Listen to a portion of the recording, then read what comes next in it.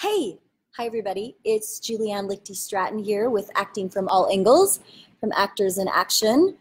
Um, for those of you who are just tuning in, we are going to be talking about auditioning and how to stay present in auditioning, in an audition, especially an unconventional audition. All right, so a little bit more about that in one second, but first let me introduce myself.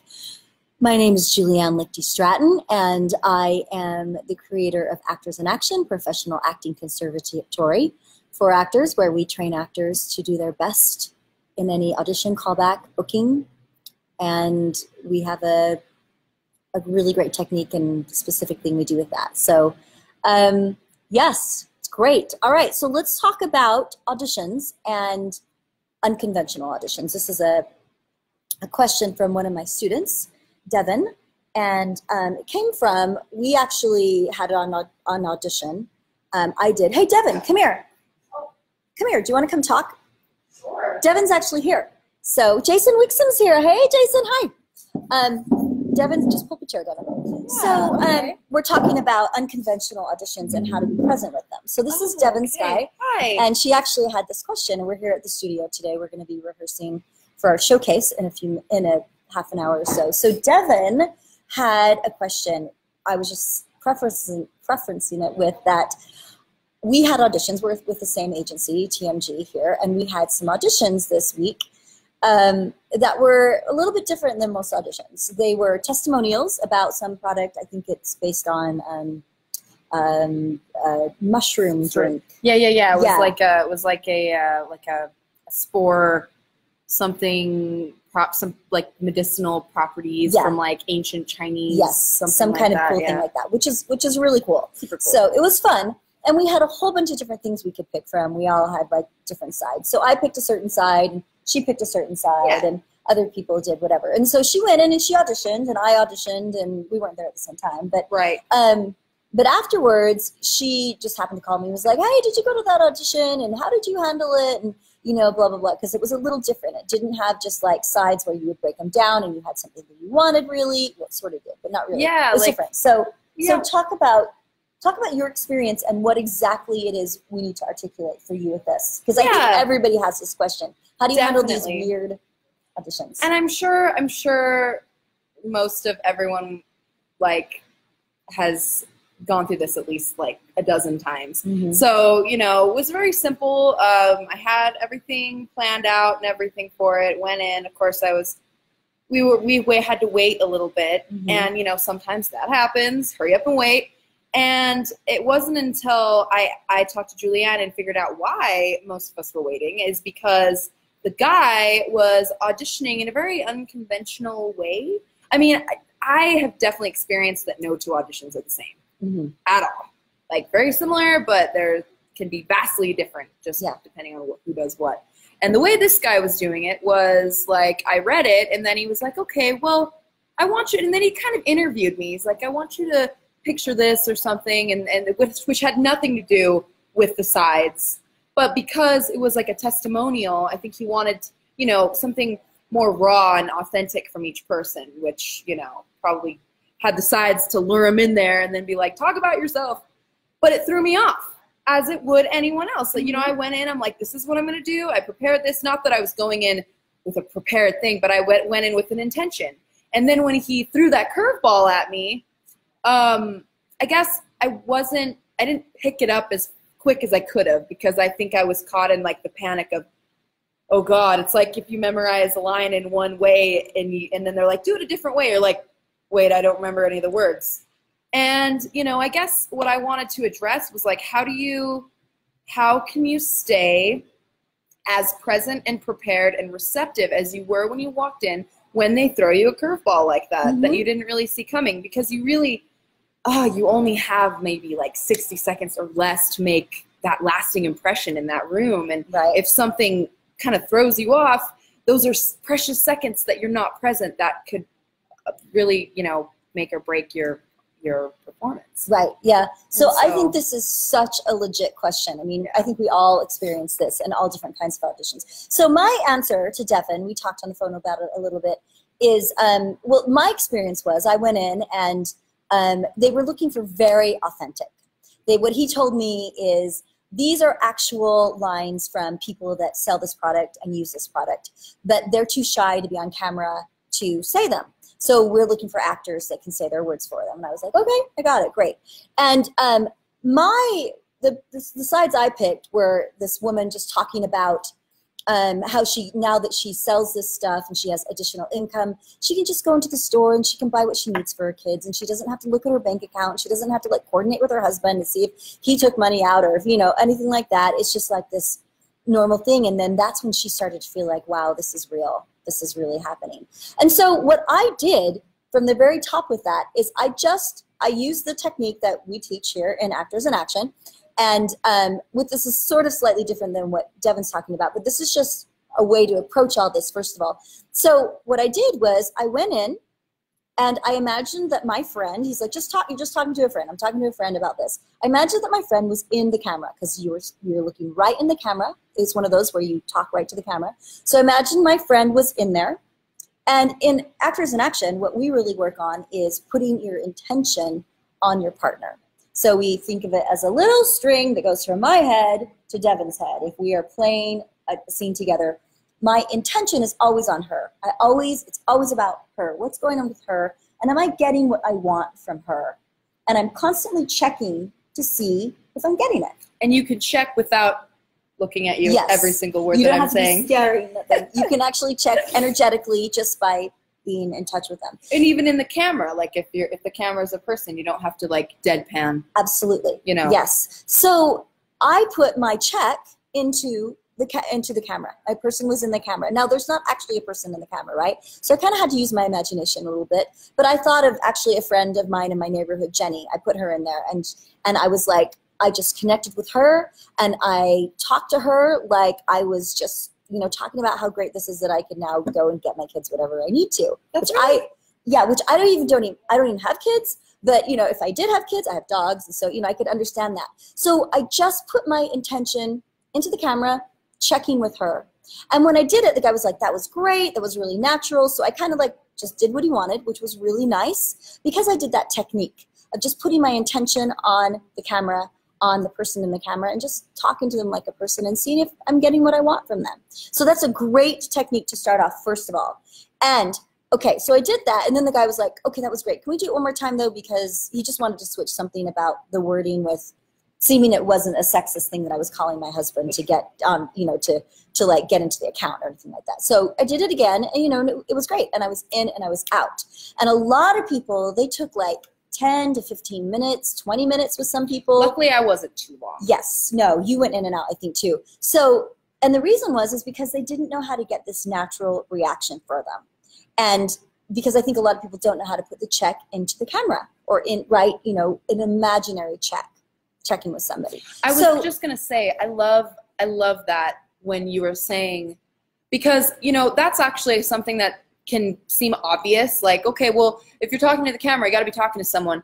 And yet when you're in that moment you don't think about it.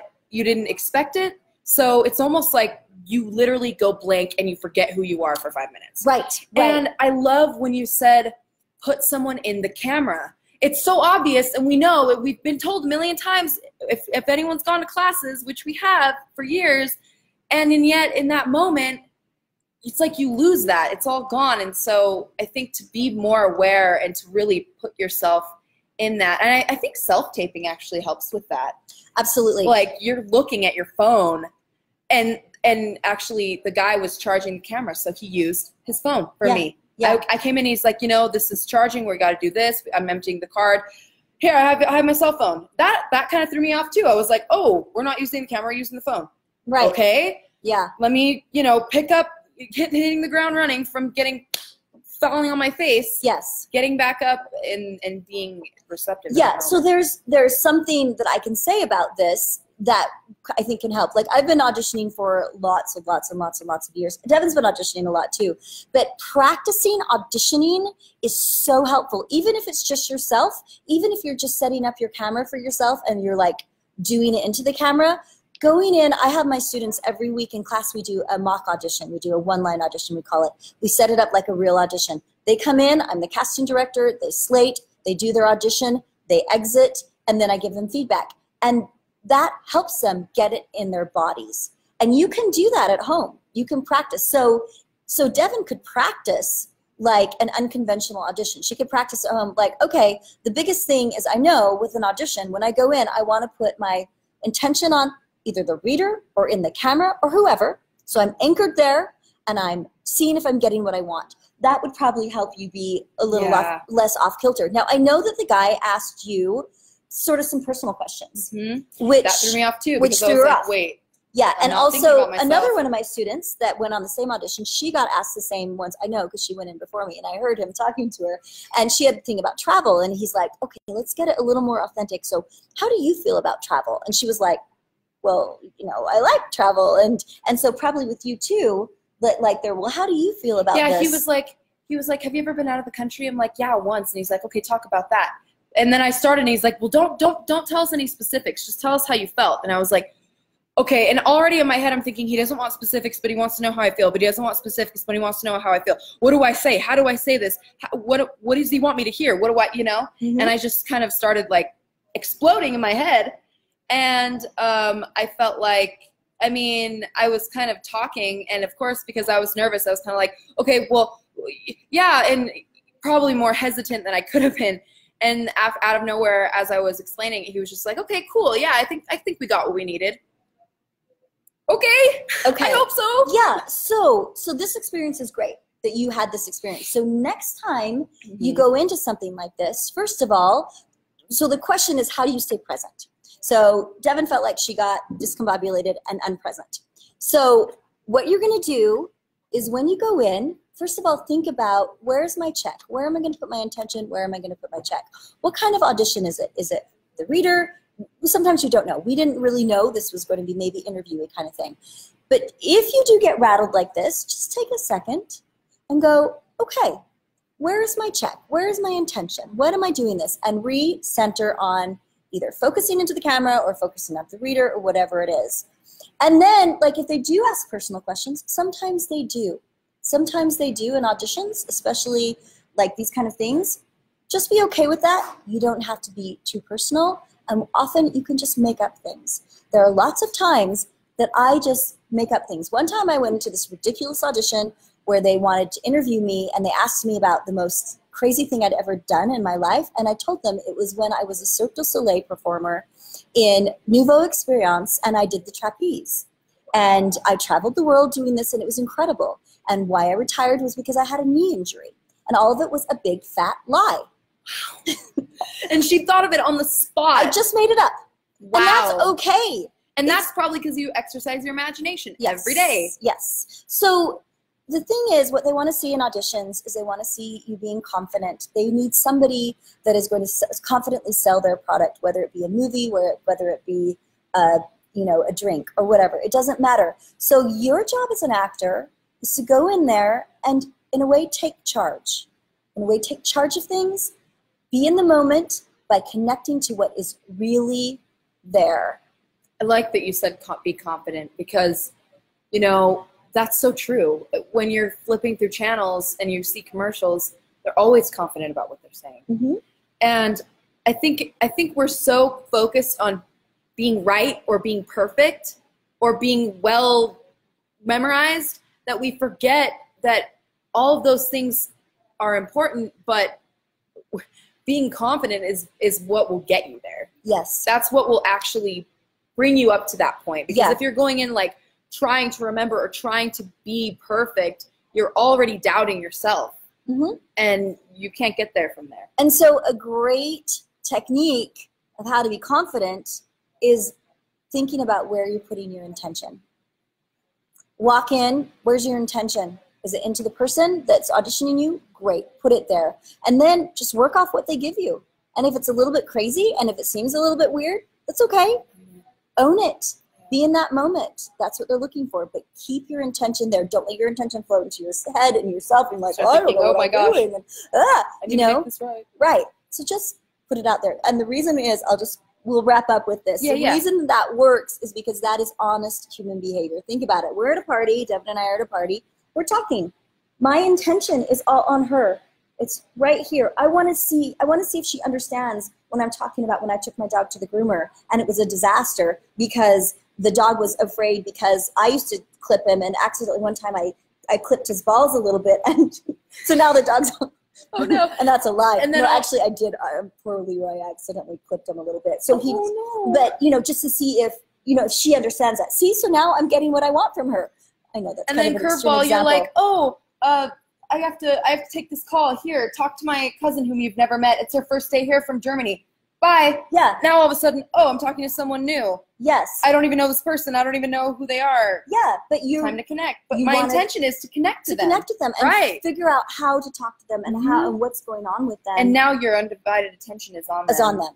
Even right? though it, even though it was something completely unexpected, you're still there. Yes. You're still present So your that- intention is that strong. Yeah, intention. It's the Love power of intention, as they say, you know, the new age people. But it's true. It's so true in acting. So, and by the way, Leroy, my dog, was not hurt at all. My No dogs were harmed. no dogs in, were harmed in this. in the recording of this. so hopefully that answers your question about how to handle unorthodox auditions a little bit. Um, It we'll certainly answered mine. Good. So thank you. you're welcome. you, are welcome. Practice is really important, and where you put your intention, your intention, where you put your intention will help you stay in the moment. And confidence. Oh my gosh. Yeah, well, confidence is all about They, intention. they want they want you to do good. Oh, They're rooting Do you know what you. the guy said to me when I walked in there? I don't know if he said this to you. He said, "My job is to get you the job," Yes, That's I why love I am here. I love that that and it was from, really cool. from like a casting director's Yeah. perspective. Like they want you to get the job. They do. They want you to book it. They don't. They don't want to judge you. They Yeah. don't want to make you feel less than adequate or like you don't know what you're doing. They want you to know what you're doing. it it it helps them if you are good enough to book the job. Yeah. It helps them. So yeah. Anyway, so we're gonna wrap Thank it up. you. Thank you so much. Thank we're you gonna for inviting be. me on. You're welcome. I'm so glad you're here. for answering questions. We are going to be doing some uh, run through of our show tonight for Next week. yes next week, next Friday and, Friday and Saturday. Saturday. Get your at- tickets. Secure your spot. Yes, Regent Street Black Yes. Box. Come see um, a night of classic theater with the Scaffold Theater. We have amazing actors. I think it's going to be so really hard. amazing. Yeah. We've been gonna be working for a long time on this. And it's at the friggin' Eccles I Black know, Box. I know. So be there. I should send a link out. I'll send a link out later. I think you guys have a link. So come and see us. Anyway, thank you so much. Over and out. We will Bye, see you next you. week. Bye.